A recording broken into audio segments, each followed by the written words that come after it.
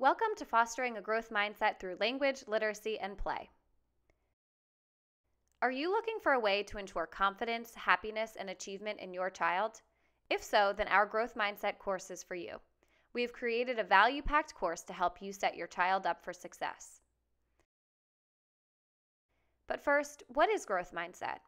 Growth mindset is the belief that people's most basic abilities can be developed through dedication and hard work. Brains and talent are just the starting point. Growth mindset creates a love of learning and a resilience that is essential for great accomplishment. In our course, we share all about growth mindset, the benefits, and practical tips for encouraging a growth mindset with your child. The course includes seven modules, including an introduction to growth mindset, a review of growth mindset stances, and information on how to build a growth mindset through language, literacy, and play. It also includes activities and downloadable resources to ensure you'll be able to easily put your new knowledge into practice. We like to say our course is heavy on the value and light on the fluff.